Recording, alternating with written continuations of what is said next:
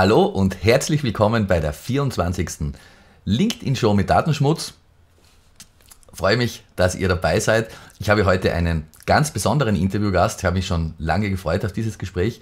Britta Behrens, die Marketingleiterin von Pivik Pro und sehr, sehr gefragte Keynote-Speakerin und Vortragende, wird aus dem Nähkästchen plaudern, beziehungsweise sehr tief in die Trickkiste greifen und einige ganz, ganz essentielle Dinge zum Thema Social Selling und Umgang mit LinkedIn erzählen. Ähm, wir wollen ja alle keine, Britta hat diesen ja, Hashtag bzw. diesen Begriff erfunden, keine Sales-Pfosten sein.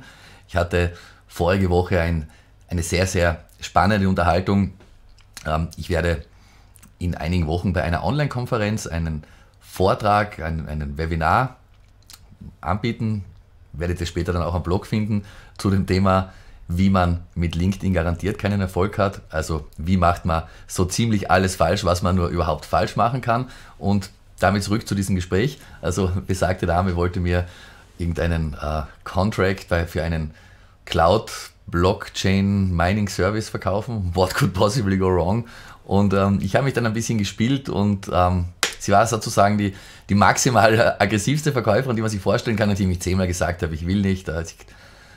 Liegt es daran, dass ich mich mit Blockchain nicht auskenne? Ähm, wir haben da lang hin und her geschrieben und äh, langen Rede, kurzer Sinn. Ich werde dieses äh, schöne Gespräch dann auch als Lehrbeispiel herzeigen. Also, wie vermeidet man es, ein Salesposten zu werden, beziehungsweise mit der Tür ins Haus zu fallen, indem man sich über seine Kunden informiert, indem man sich selber auch richtig positioniert und genau darüber werden Britta und ich uns heute unterhalten in der Sendung.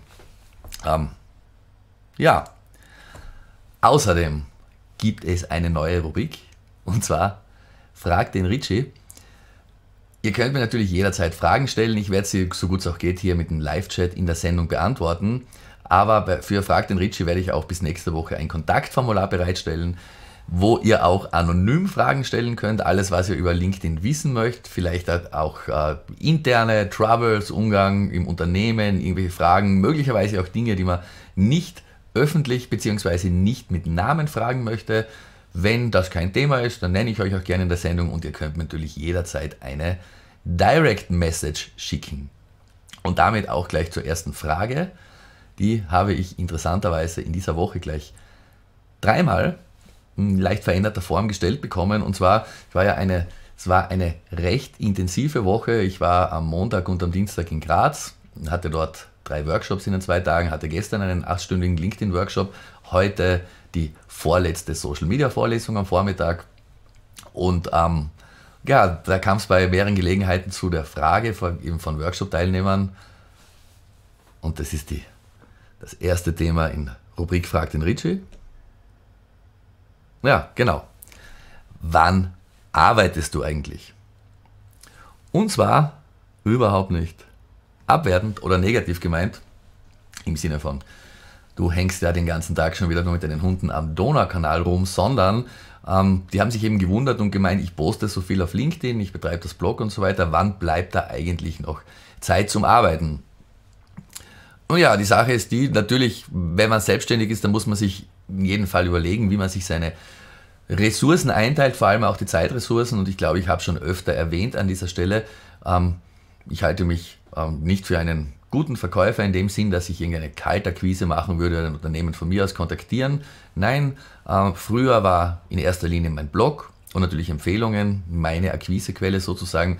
Und inzwischen spielt da LinkedIn auch eine Riesenrolle. Das heißt, wenn man so will, diese Aktivitäten sind eine Mischung aus, aus Research and Development ähm, und ähm, natürlich auch Vertrieb und Marketing und Werbung in eigener Sache. Ähm, das heißt, es ist eigentlich schon ganz schön viel, was man als EPU auch tun muss und das konzentriert sich bei mir naturgemäß auf diese Online-Bereiche, was dann allerdings auch zu der pragmatischen Frage führt, die wir natürlich auch in einem Workshop sehr oft diskutieren.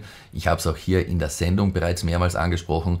Wie viel Zeit braucht man für LinkedIn? Ganz zentrales Thema. Meine Meinung dazu, wenn man wirklich konkrete Ergebnisse nach drei bis sechs Monaten erreichen möchte, ist eine Stunde am Tag eine ganz, ganz hervorragende Idee. Da geht es ja nicht nur darum, schnell mal ein Status-Update zu posten, sondern um viel, viel mehr und letztendlich auch darum, die notwendigen Fähigkeiten zu lernen, die man braucht. Stichwort Bildbearbeitung, Videoschnitt. Da muss man kein Profi sein, man braucht keine Ausbildung, aber man sollte eben in der Lage sein, diese Dinge selber zu machen. Es braucht Zeit, das zu lernen. Sind eine, kommt das Wording dazu. Also wie gesagt, einerseits das Handwerk und auch die Erfahrungen, die man sammelt. Das braucht eben schon seine Zeit.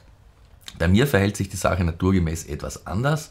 Als LinkedIn-Berater verbringe ich, wenn ich jetzt wirklich die, die reine Zeit rechne, dann wäre das halt immens viel, weil ich natürlich bei einem großen Teil meiner Workshops auch auf LinkedIn eingeloggt bin und sozusagen auf der Plattform arbeite, beziehungsweise Funktionen eben live herzeige und erläutere.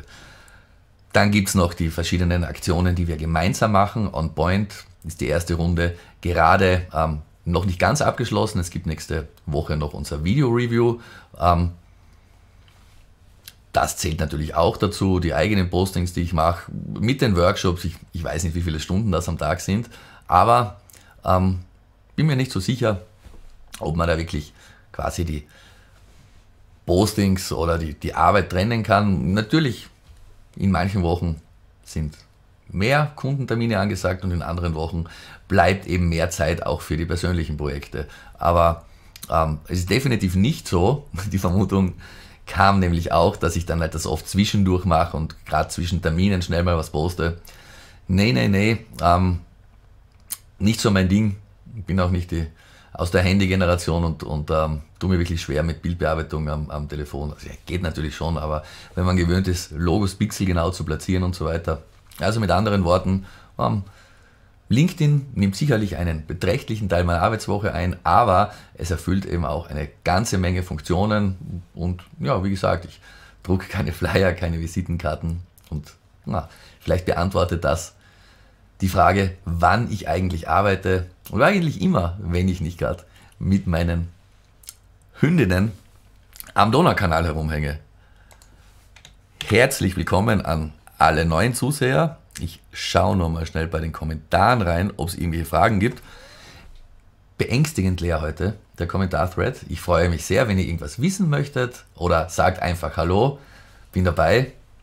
Freut man sich natürlich immer sehr über Rückmeldungen und ansonsten kommen wir zum versprochenen Highlight der heutigen Sendung, nämlich meinem Gespräch mit Britta zum Thema Social Selling auf LinkedIn. Gut aufpassen, mitschreiben ist nicht notwendig. Ihr könnt natürlich auch im Nachhinein, wie gewohnt, die gesamte Sendung jederzeit im Archiv abrufen, sowohl auf LinkedIn als auch auf meinem Blog. Viel Vergnügen mit unserem Gespräch. Liebe Britta, herzlich willkommen in der LinkedIn Show. Ich freue mich sehr, dass wir heute plaudern können. Online und auf LinkedIn haben wir schon das eine oder öfter oder andere Mal miteinander diskutiert. Vielleicht erzählst du mal, aus welcher Ecke du kommst, wie dein Werdegang ist und wie du dann in der, in der Webbranche beziehungsweise im Marketing bei Vivic Pro gelandet bist. Ja, sehr gerne, Richie. Ja, auch erstmal herzlichen Dank für die, für die Einladung, dass wir uns jetzt mal, zwar immer noch digital, aber jetzt face-to-face -face, äh, sehen und uns ja auch bald äh, in Österreich, in Wien äh, kennenlernen. Aber jetzt erstmal zu meiner persönlichen Vorstellung. Ja, mein Name ist Britta Behrens. Ich bin Marketingmanagerin bei Pivic Pro und dort verantwortlich für den deutschsprachigen Raum. Ähm, mein Werdegang war, ich habe äh, an der Universität Trier Medienwissenschaften und BWL, Schwerpunkt Marketing, B2B-Marketing studiert, habe dann ähm, sieben Jahre lang ähm, bei dem führenden IT-Fachbuchverlag Galileo Press, der jetzt mittlerweile Rheinwerk Verlag heißt, ähm, die komplette IT-Büchersparte äh, vermarktet. Habe da ähm, online digitale Kommunikation im E-Commerce-Bereich, Amazon, den Amazon-Shop betreut, die Webseite und äh, habe auch dort Public Relations gemacht, so dass ich so ein bisschen äh, Marketingmädchen für, für alles war.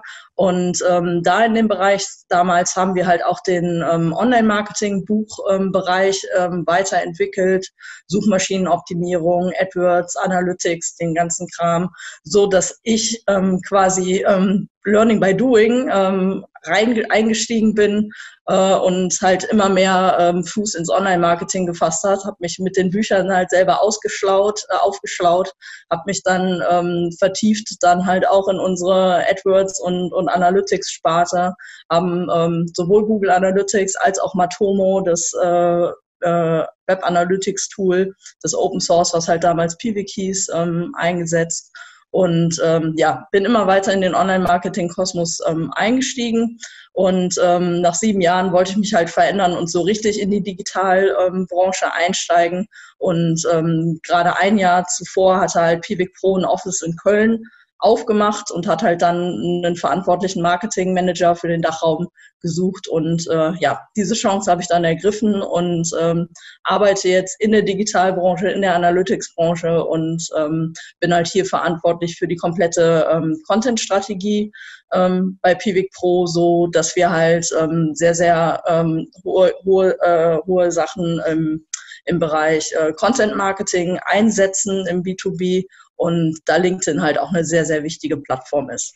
Aber es ist auch interessant, gewisse Parallelen. So eine Kollegin, Medienwissenschaftlerin und BWL, da hat man ja angeblich auch ein wenig mit Zahlen zu tun, da ich wenig Ahnung.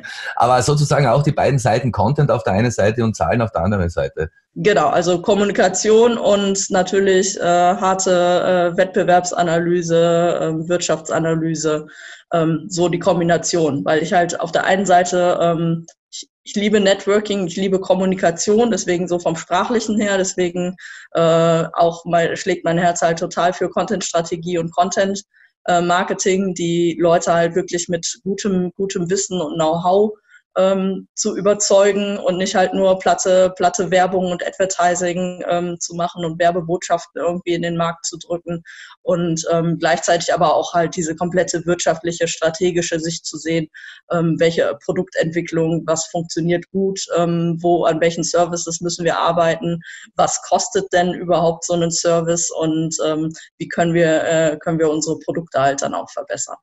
Und da ist es halt super hilfreich, um nicht zu sagen, überlebenswichtig, um, um tatsächlich viable äh, Businessmodelle oder nachhaltige Businessmodelle zu bauen, dass man eben nicht nur Ahnung von Content hat, sondern auch von den Zahlen oder speziell von Analytics, weil dann sieht man ja auch, was von dem tut, was von dem, was man tut, funktioniert und was eben weniger gut funktioniert.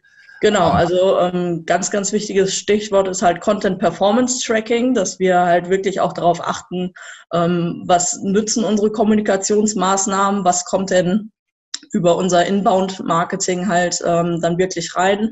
Wir haben halt einen sehr gut laufenden Corporate-Blog, wo wir halt verschiedene Themen aus dem Analytics-Bereich oder halt auch, weil wir halt als europäisches Analytics-Unternehmen natürlich ähm, darauf achten, dass es halt auch alles datenschutzkonform DSGVO, ist. Genau, DSGVO, die Privacy und das alte und, äh, Liedchen. die ganzen Cookie, Cookie-Sachen, aber da versuchen wir halt den Leuten auch die Angst zu nehmen, dass halt Datenschutz halt nicht ein kompletter Blocker und eine Sperre ist, sondern dass man man halt Analytics und auch Marketing und Advertising im Einklang äh, mit, mit den Datenschutzrichtlinien äh, und Regeln halt dann auch spielen kann und wir halt natürlich auch unsere. Tools in der, der Hinsicht halt dann weiterentwickeln, um, um vernünftig halt weiter gute Zahlen zu haben, messen zu können und halt dann auch wirklich personalisierte Advertising-Kampagnen fahren zu können, weil ähm, mich und dich kotzt das mit Sicherheit auch an, wenn ich Sachen ähm, vor die Nase gehalten bekomme, wo ich überhaupt keine Zielgruppe bin.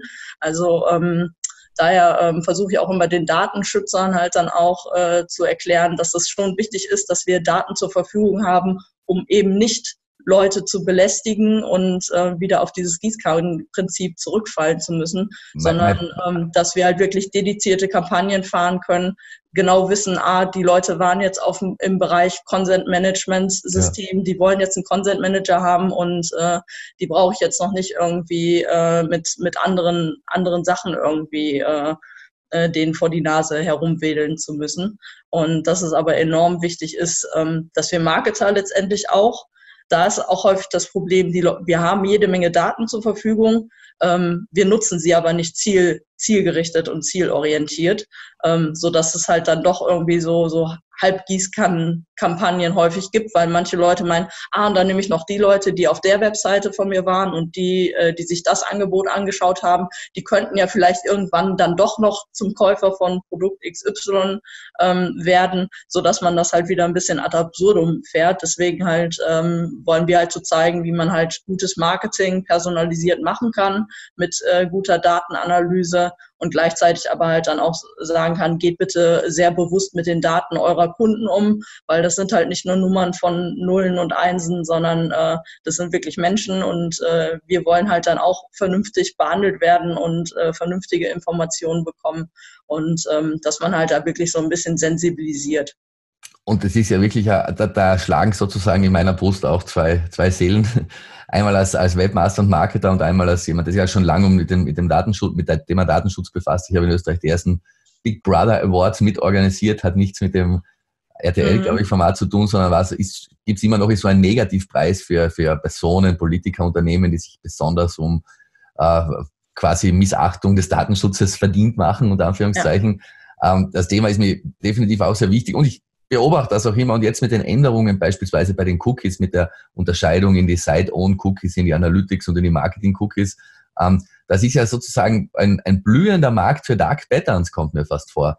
Wenn man sich überlegt oder wenn man sich anschaut, wie viel Mühe sich da Leute geben, um Cookie-Consent-Windows zu bauen, die DSGVO-konform sind, weil sie nicht vorangehakt sind, aber den Eindruck erwecken, man klickt auf OK und stimmt nur den site-eigenen Cookies zu. Genau. Aber dann in dem letzten Moment wird sozusagen der Rest aus. Ich muss sagen, also der, der kleine Blackhead auf meiner Schulter sagt, fucking brilliant. Und ja, der Datenschützer sagt, das ist auch eine Art, die DSGVO auszuhebeln, natürlich. Klar, ja, als Webseitenbetreiber also, will man vollständige Daten haben. Also die Cookie, Cookie Banner ist, äh, ist das eine, das ist enorm wichtig. Das sollte auch in jedem beim im Marketing so als AB-Test mittlerweile komplett für die Conversion-Optimierung, weil ich muss Conversion optimieren, um so viel wie möglich Einwilligungen natürlich äh, zu bekommen. Ich soll den Leuten aber natürlich nicht vor, vorgaukeln, wenn du jetzt hier OK drückst, dann nutze ich es nur für die Webanalyse und äh, nicht ich nehme jetzt alles und äh, bald siehst du dann den Remarketing-Banner äh, auf jeder Seite, die du gerade woanders besuchst. Und äh, du siehst mich noch auf Instagram und Facebook und, und LinkedIn und hast du nicht gesehen. Ähm, da muss man natürlich ähm, sehr aufpassen und das ist natürlich auch so ein, so ein Wirtschaftsethik-Thema. Äh, ähm, wie, wie weit treibe ich das Spiel? Und ähm, ganz, ganz wichtig ist halt, man, man versucht es natürlich so zu optimieren, dass man natürlich das Ja, ich bin einverstanden für alles äh, bekommt, aber wichtig halt auch transparent macht, dass halt auch dieser Nein-Button, wenn man das halt nicht möchte, auch erreichbar und auch vor allem sichtbar ist.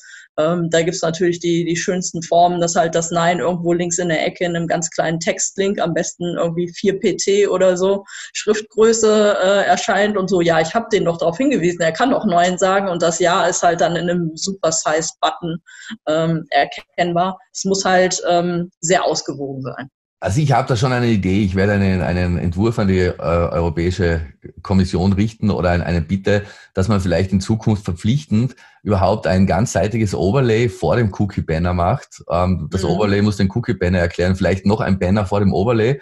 Ähm, und die amerikanischen Unternehmen lassen wir weiter 30-seitige AGBs machen, die niemand versteht und die man einfach abnickt. Aber Europa ist führend im Datenschutz, ist auch wichtig. Ich glaube, das Wichtige, das, das Wichtigste daran ist, dass das Thema ins Bewusstsein rückt auch in der, ja, da ähm, kann man, da möchte man sich manchmal in seinem eigenen Mund übergeben, wenn man sich die praktischen Auswirkungen ansieht. Aber ja, wie gesagt, äh, es ist sicherlich ein schmerzhafter Prozess. Irgendwer musste ihn ja beginnen.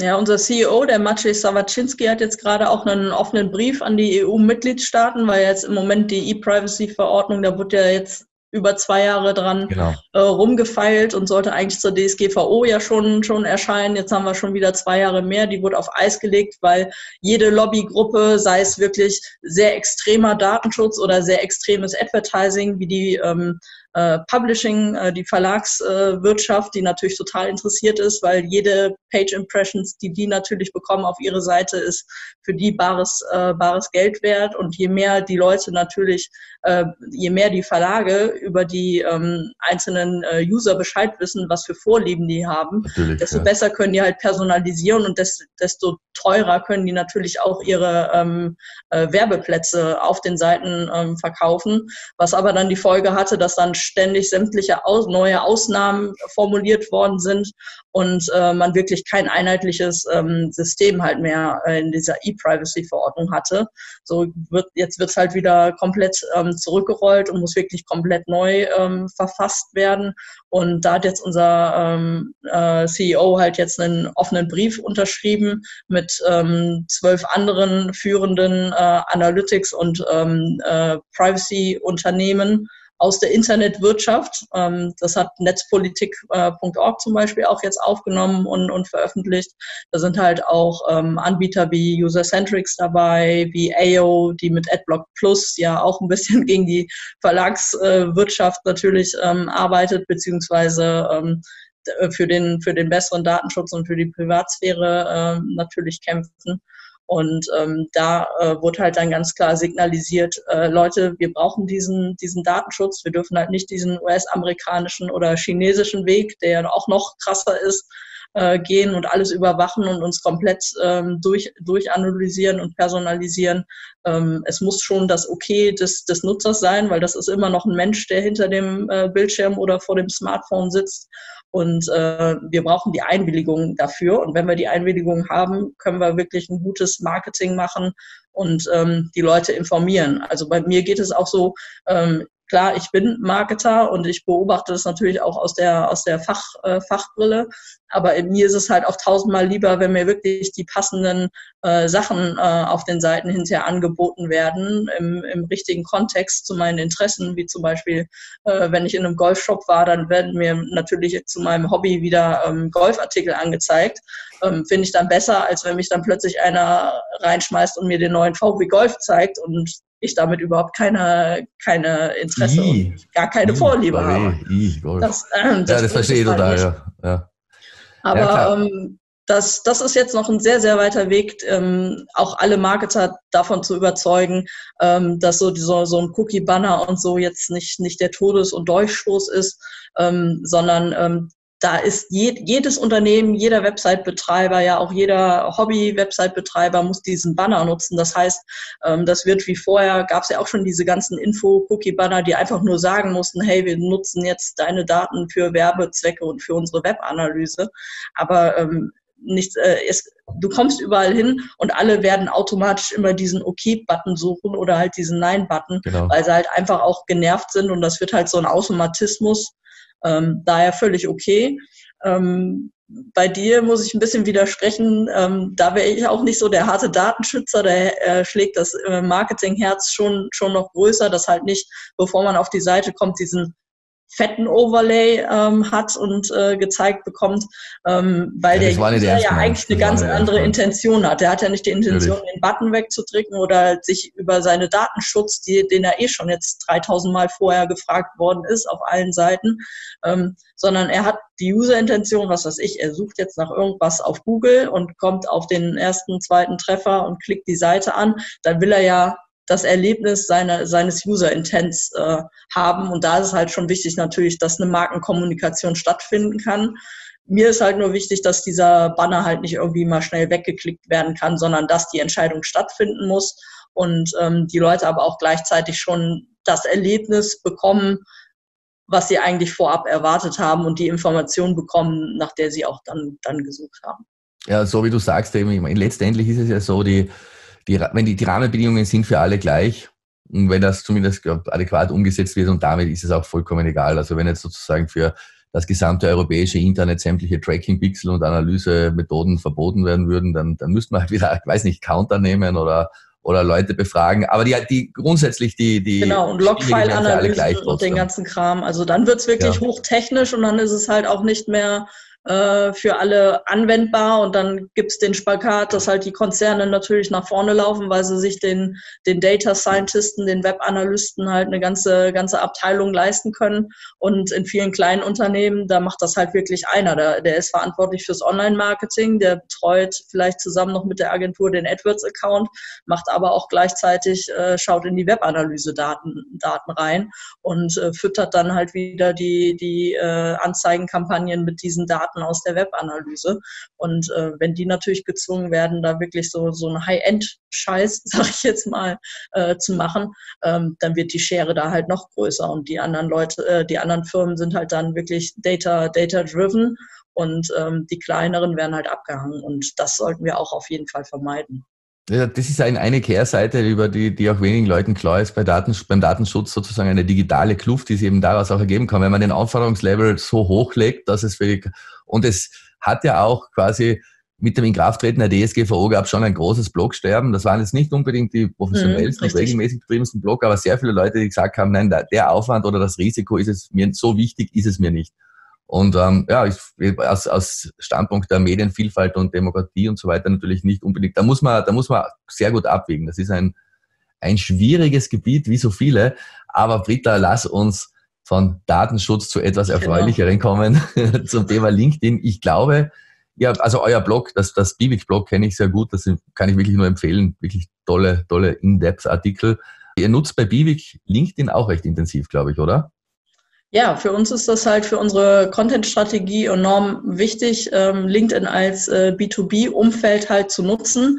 Ähm, LinkedIn hat einfach den Vorteil, es ist ein Business Network. Und da heißt es, die Leute, die da gerade live sind, die wollen sich zu ihren Themen informieren, die wollen sich austauschen, die wollen ähm, guten fachlichen Content sehen zu ihren Themen, die sie gerade interessieren, die sie tagtäglich auf dem Tisch haben. Und ähm, so können wir halt wirklich ähm, sehr konzentriert ähm, unsere, un, unseren Content halt dann dort spielen, unsere Themen spielen und äh, werden jetzt nicht äh, verwässert von, von Cat-Content und politischen Diskussionen, äh, Naturschutzaktivisten äh, oder rechtspopulistischen ähm, Parteien und konkurrieren dann nicht wie auf, wenn wir auf Facebook ähm, oder äh, auf, ja, auf Facebook halt ähm, Sachen äh, kommentieren oder publizieren, ähm, dann wird es halt ganz schwierig, diesen fachlichen Kontext und die Leute halt wirklich in dem Moment zu erwischen. So sind sie, also die meisten Leute sind halt doch ja eher privat äh, auf, äh, auf Facebook, um, um zu flanieren und äh, nutzen halt nicht so intensiv wie ich zum Beispiel noch Facebook ähm, Fachgruppen, wo man sich auch noch eigentlich ganz gut austauschen kann. Also das ist auch nochmal ein ganz gu äh, guter Punkt, äh, sich fachlich auszutauschen. Aber auf LinkedIn weiß ich, da zählt nur Business und da wünscht man sich kein schönes Wochenende und frohe Ostern und schöne Weihnachten. Jetzt zum Happy New Year, das war nochmal, wo jeder so sein Jahr zu, äh, äh, zurecht äh, zurückreflektiert hat. Und ähm, aber halt das auch alles so im, im fachlichen Business-Kontext ähm, gemacht hat und halt nicht nur eine komische Grußformel halt gegeben hat und jetzt hätte ich gerne Likes und Kommentare und ähm, dann äh, diese, diese oberflächliche Kommunikation st äh, stattfindet. Ähm, LinkedIn ist halt total super. Wir, wir erreichen ähm, die Leute, die sich für Analytics und die Online-Marketing-Themen äh, interessieren. Wir können unsere eigene Reputation da ideal aufbauen. Ähm, wir kriegen sehr, sehr viele Anfragen jetzt auch über, über LinkedIn äh, rein, die halt mehr dann über Pivik Pro erfahren wollen. Was ist denn die Alternative? Was ist denn der Unterschied zu Google Analytics? Wie macht ihr das denn, ähm, dass ihr anonym ohne Consent halt die Sachen äh, weiter tracken könnt? Und ähm, wir versuchen halt bei Pivik Pro halt dann auch ähm, da äh, halt unsere Mitarbeiter ähm, zu, zu motivieren. Wir haben halt äh, im Dachbereich so als Testpilot halt angefangen äh, ich mit der Tatjana und dem Alexander Gulenz äh, in vorderster Front da unseren Content zu spielen, unsere Profile halt zu nutzen, uns da zu etablieren und als Ansprechpartner bereitzustehen für alle.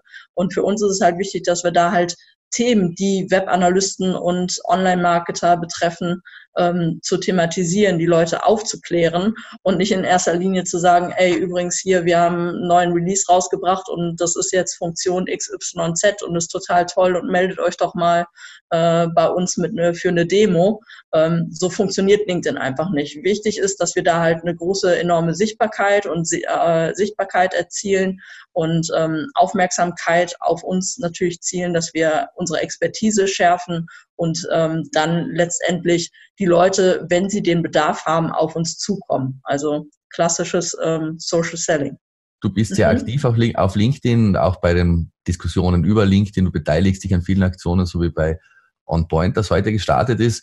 Und du hältst auch seit, glaube ich, einem Jahr ungefähr Vorträge mhm. über LinkedIn, über, über Social Selling, über Personal Branding. Wie siehst du die, die aktuelle Entwicklung oder anders gesagt, was muss man momentan als Person auf LinkedIn machen, um interessant zu sein, um die richtigen Kontakte zu finden? Ganz, ganz wichtig ist, dass ich erstmal mein Profil vernünftig äh, umbaue.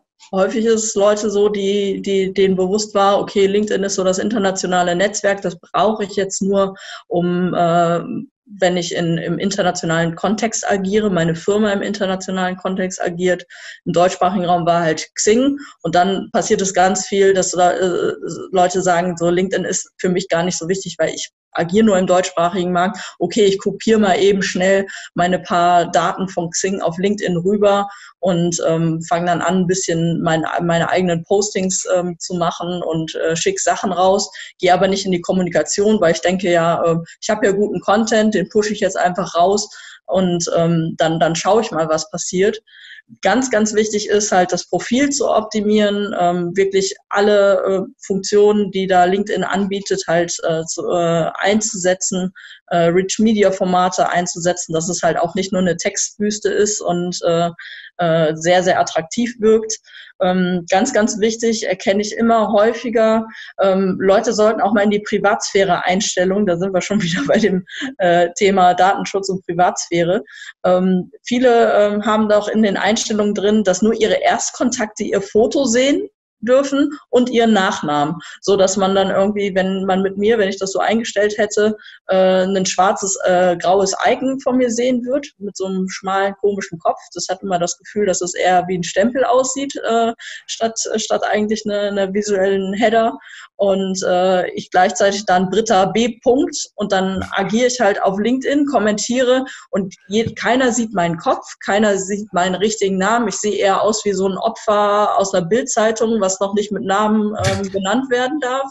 Und ähm, der erste Eindruck ist halt dann komplett hinüber, auch wenn ich mich eigentlich schon entschieden habe, hey, ich sehe gute Fachbeiträge, ich will vielleicht noch nicht selber was posten, aber ich kommentiere mal, aber die Leute kriegen überhaupt nicht mit, äh, wer derjenige ist und man äh, läuft quasi mit einem Kommentar anonym durch LinkedIn.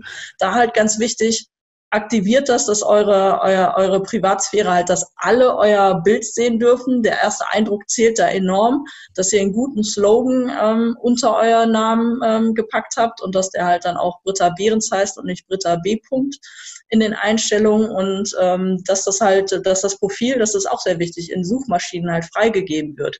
Dass wenn jemand auf Google zum Beispiel nach eurem Namen sucht, weil ihr von jemandem empfohlen wurdet, dass wenn der Name eingegeben wird, dann wird automatisch durch die Mega-Performance von LinkedIn halt euer LinkedIn-Profil auch unter anderem auf der ersten Seite erscheinen. Und ähm, das solltet ihr halt nicht mit den Einstellungen verhindern. Und ja, ganz wichtig halt ähm, in die Sichtbarkeit kommen ähm, durch eigenen Content, aber auch ähm, nicht nur meinen, ich habe jetzt einen coolen Artikel bei uns im Corporate Blog geschrieben und dann teaser ich das Thema an und ähm, dann lasse ich es laufen. Die sehen das ja und dann kommen die hoffentlich auch auf meine Webseite, sondern es geht darum, auf LinkedIn zu diesem Thema, was ihr dann da beschrieben habt, dort in die Kommunikation zu gehen, euch zu engagieren und halt dann die Leute, die halt dann auch nicht nur hoffen, dass die Leute äh, kommentieren und die das einfach laufen lasst, ähm, sondern dass ihr wirklich, ich nenne das immer so Komment äh, Kommentar-Ping-Pong, ähm, dass ihr halt auch äh, den Leuten, die kommentieren, Feedback gibt und da weiter ins Gespräch geht und ähm, da das ähm, honoriert LinkedIn halt auch, weil die natürlich ähm, sehr viele aktive User ähm, haben wollen auf der Plattform, die regelmäßig täglich auf LinkedIn aktiv sind. Und wenn ihr dann wirklich unter euren Beiträgen kommentiert und die einzelnen ähm, Antworten halt dann auch wieder mit einem Kommentar verseht, ähm, dann wird euer Beitrag durch die Decke gehen, weil ähm, LinkedIn dann sieht, oh, da ist ein echtes Gespräch, eine echte Diskussion. Und äh, nicht nur halt mal eben drei Bagatelle, äh, Bagatellkommentare.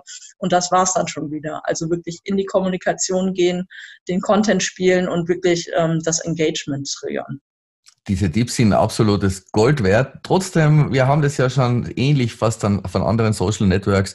Es gibt immer Leute, die glauben, sie können manipulieren, sie verwenden Engagement-Bots und kriegen viele Likes. Ich mhm. persönlich mhm. habe den Eindruck, dass LinkedIn seit, ich kann jetzt keinen Zeitpunkt sagen, aber seit, seit äh, oder es geht laufend in die Richtung, dass Likes immer mehr entwertet werden und Kommentare oder Gespräche, wie du sagst, noch mehr wert sind. Das waren ja bisher schon, schon sehr wichtig.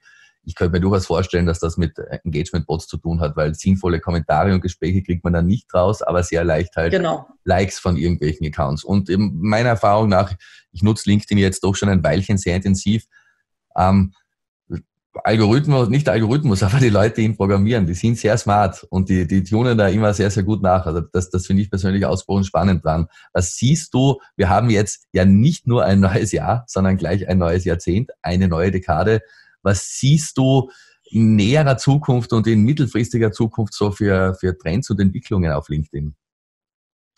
Ähm, erstmal eine negative Entwicklung. Man, man merkt ähm, dadurch, dass du und ich ja auch wirklich sehr viel Werbung für LinkedIn machen, weil es halt wirklich sehr wertvoll für jeden Einzelnen von uns ist, ähm, da nach vorne zu kommen, dass äh, je mehr Popularität LinkedIn bekommt, halt dann auch diese, diese Oldschool-Vertriebler ähm, ähm, sich ein LinkedIn-Profil ähm, ziehen und halt meinen, nach der ersten Kontaktanfrage äh, direkt einen Sales-Pitch, ohne dass man halt eine Beziehung aufgebaut hat äh, oder denjenigen kennt und auch nicht das Unternehmen kennt, halt anfängt direkt äh, verkaufen zu wollen, dass dieses äh, Missverständnis im Moment äh, sehr, sehr stark verbreitet ist auf, auf LinkedIn und man das äh, ganz klar ein, eindämmen muss. Und da rege ich auch jeden dazu an, ähm, demjenigen das auch ähm, quasi äh, zu kommentieren, dass wenn, wenn man halt so eine belästigende Nachricht bekommen hat, dass man denjenigen äh, darauf hinweist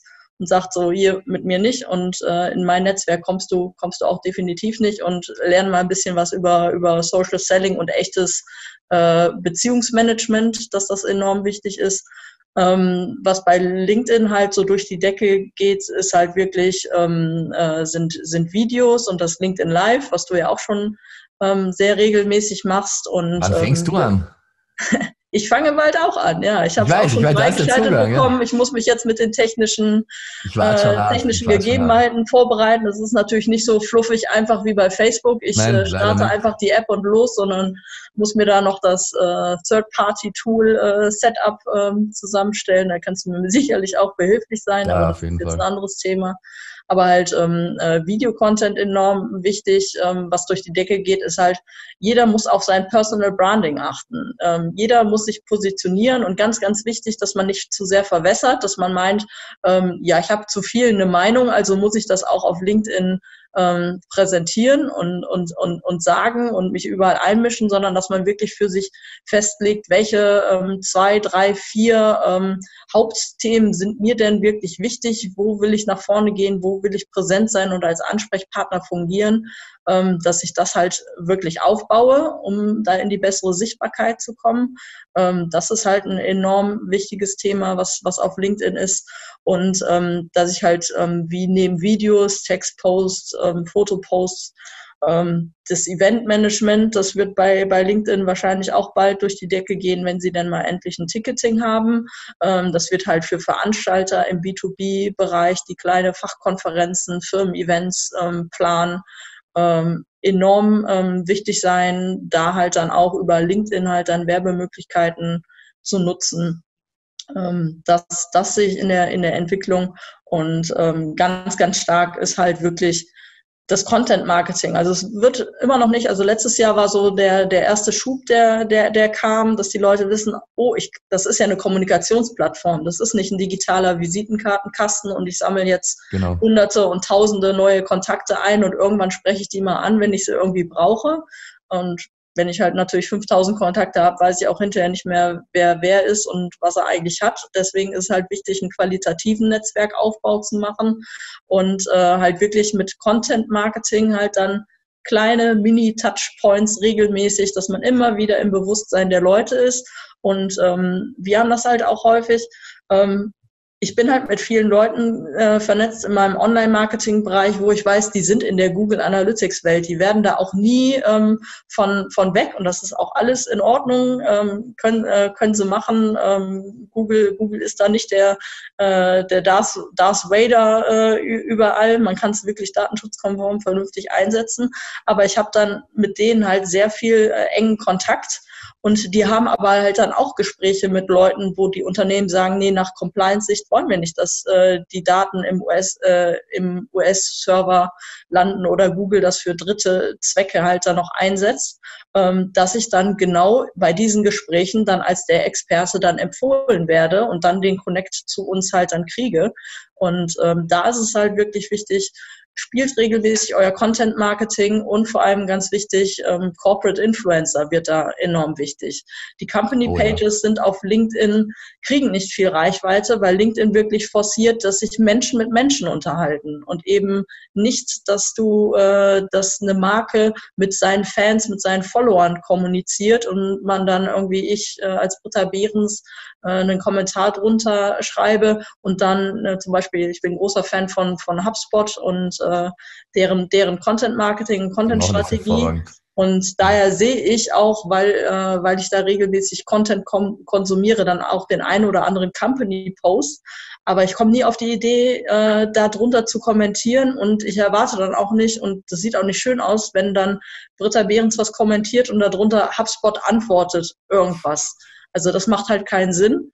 Ähm, man kann halt äh, maximal vielleicht, wenn sich Firmen mit Firmen untereinander unterhalten und so. Was weiß ich, ich habe jetzt mit PB Pro und HubSpot irgendwie eine Kooperation. Wir haben eine Case Study veröffentlicht und dann veröffentlicht HubSpot unsere Case Study und äh, PB Pro würde das dann jetzt ähm, beantworten, so dass Marken mit Marken kommunizieren können. Aber ganz, ganz wichtig ist, dass die äh, Mitarbeiter aus den Unternehmen auf LinkedIn ihr, ihre Expertise präsentieren, auch natürlich Unternehmensthemen spielen, die da eine Rolle spielen, aber halt immer aus der Perspektive des, des Mitarbeiters und deren Rolle. Also es würde bei mir jetzt komplett unglaubwürdig äh, werden, wenn ich jetzt hoch technische äh, Details aus unserer Analytics Suite irgendwie posten würde mit irgendwelchen ähm, äh, SQL, PHP äh, technischen äh, Sachen, wie irgendwas programmiert wurde oder so, weil das nimmt man mir einfach nicht ab. Das wäre halt dann einfach nur ähm, in meinen Account reingerotzt, weil wir jetzt irgendwie uns technisch äh, präsentieren wollen.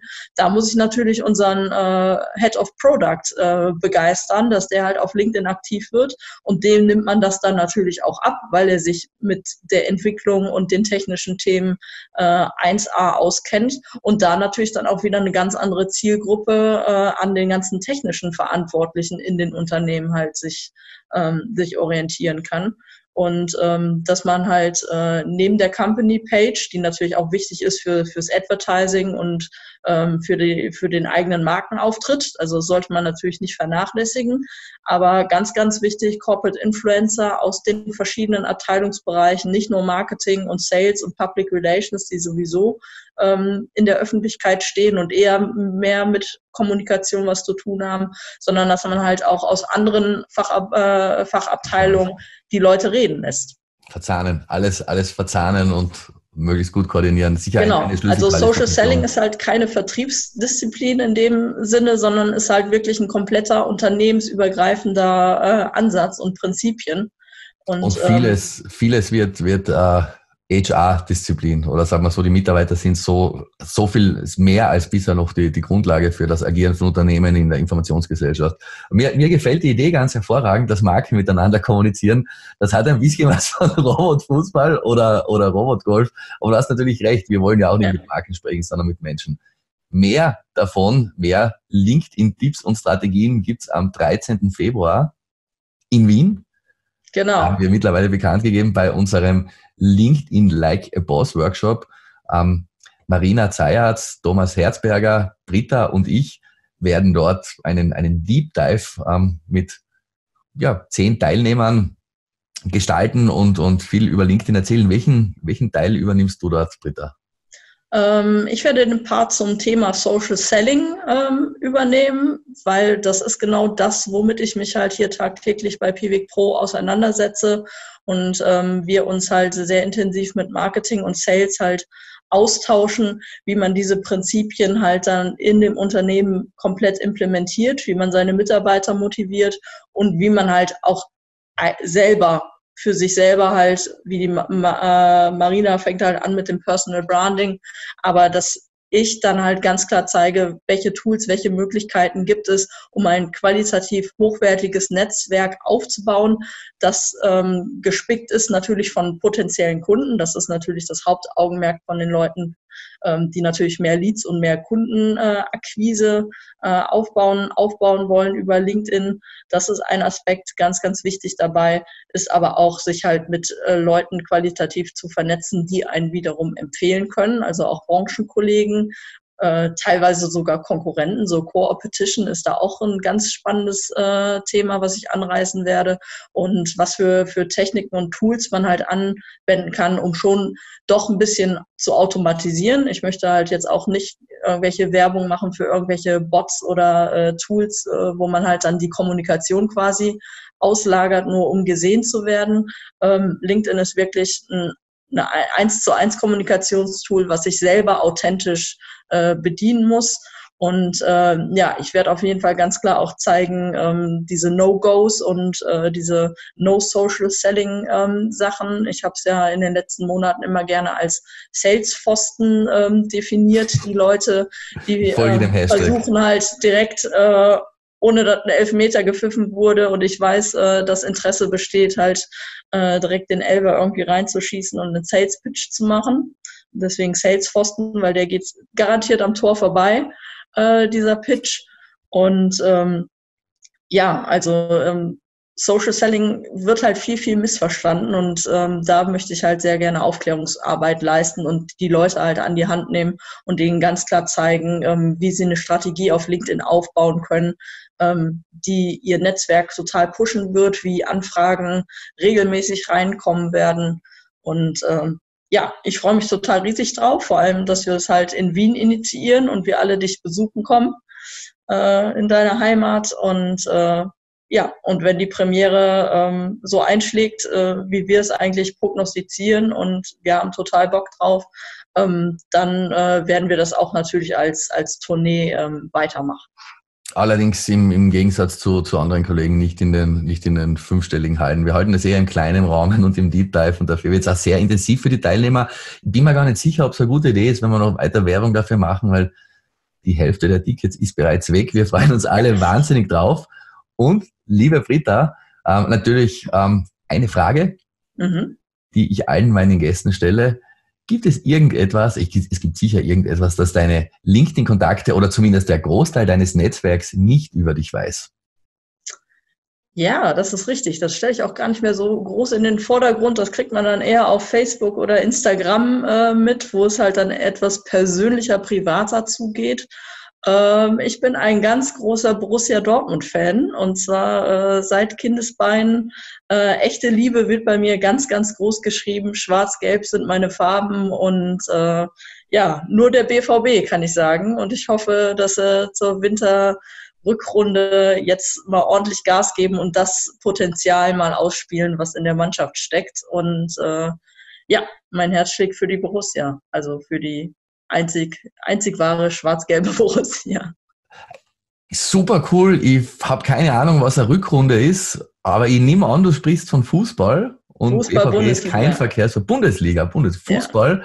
Alright, eine Welt, die mir mindestens so fremd ist wie Haute Couture und Mode.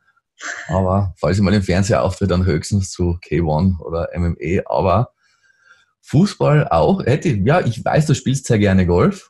Und ja. ähm, in Wien werde ich dich auf jeden Fall auf einen Gin Tonic einladen. Ach, Mittlerweile super. auch sehr gute Wiener Gin-Produzenten. Ah, dann werde ja? ich gerne mal einen lokalen Gin äh, Ja, musst du auf jeden Fall. Es gibt sehr viele lokale und sehr viele lokale Gins. Und ja, wir sehen, wir lernen uns am 13. endlich persönlich kennen. Danke, liebe Britta, dass du zu Gast warst.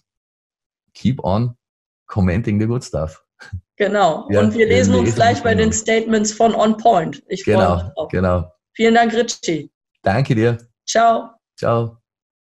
Social Selling, wenn man es richtig macht, dann ist man definitiv kein Salesposten. Wenn man es falsch macht, dann kann man damit einen ganz schön schlechten Eindruck bei Leuten hervorrufen. Mehr dazu von Britta gibt es zu erfahren am 13. Februar bei uns in Wien. Ähm, da sind wir bei UTEL zu Gast für die LinkedIn Like a Boss Masterclass wie bereits angekündigt hier in der Sendung. Äh, die Links dazu natürlich wie immer in den Show Notes. Und damit wissen Stammseher bereits, es gibt noch eine Rubrik und zwar die Status-Updates der Woche. Da wäre zum einen mal zu erwähnen ein Posting von Dr. Irene Kilubi von gestern.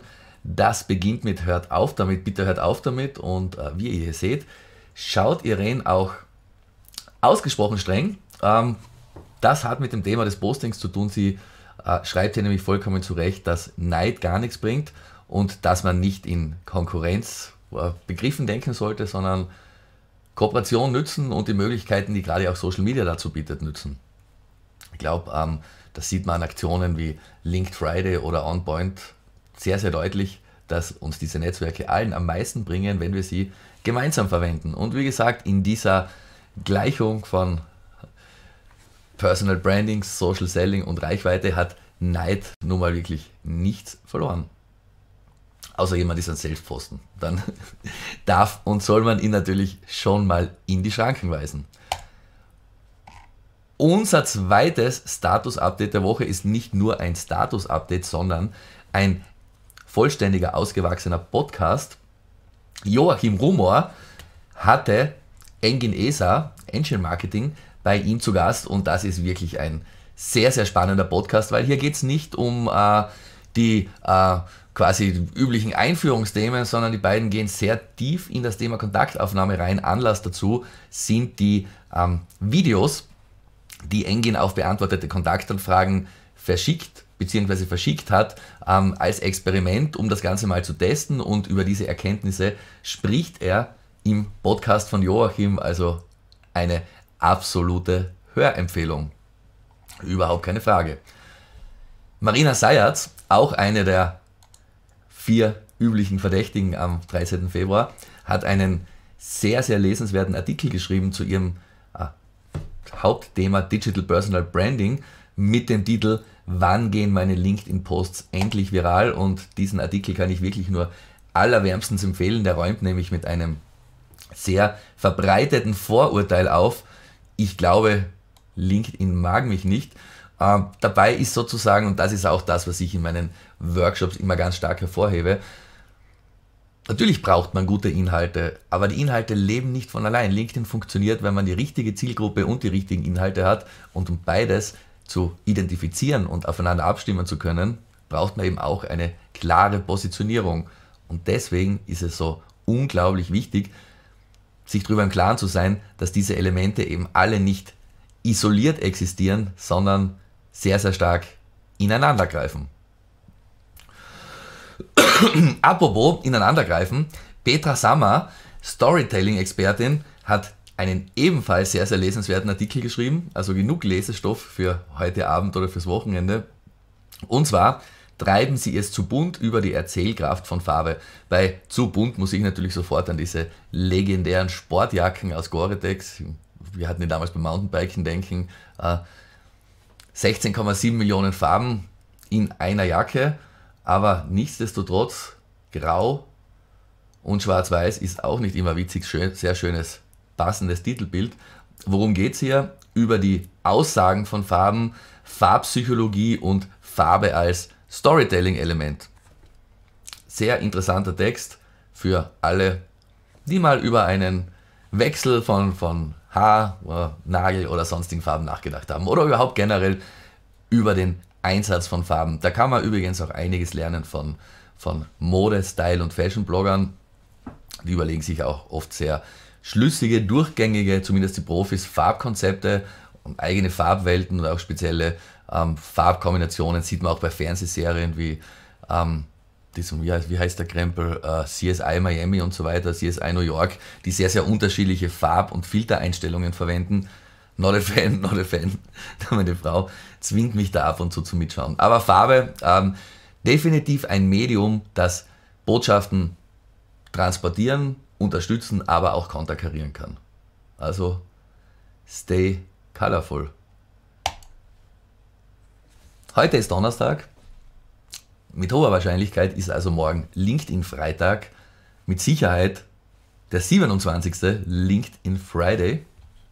Äh, 24. Jänner 2020. Ihr wisst, ein bis drei Personen aus dem eigenen Netzwerk markieren, empfehlen, mit Linked Friday taggen und sich dann über die, äh, am besten in den Feed schauen. Da gibt es immer ganz, ganz tolle Empfehlungen an den Freitagen. Und damit sind wir auch schon wieder am Ende dieser Sendung angelangt. Ich danke fürs Zusehen und fürs dabei, fürs dabei sein. Danke, Britta, fürs Interview. Ich wünsche euch einen wunderbaren Donnerstagabend. Wir sehen uns morgen, oder besser gesagt, wir lesen uns morgen beim Linked Friday und wir sehen uns nächste Woche am Donnerstag um 16 Uhr zur gewohnten Zeit. Dann ist das der Viertelhunderter voll. Bereits die 25. LinkedIn-Show. Ein kleines Jubiläum. Na, lassen wir uns mal überraschen, wer da wohl zu Gast sein wird. Möglicherweise handelt es sich um den Mann, der einen Podcast über seine Kontaktvideos aufgenommen hat. Nächste Woche in der Jubiläumsausgabe der LinkedIn Show hier zu Gast, Engin Esa. Bleib uns treu, diskutiere mit und Fragen jederzeit, private Nachricht, demnächst auch ein Kontaktformular, Kommentare zur Show, Interactivity Rules. Schönen Abend, danke fürs Dabeisein. Richie out.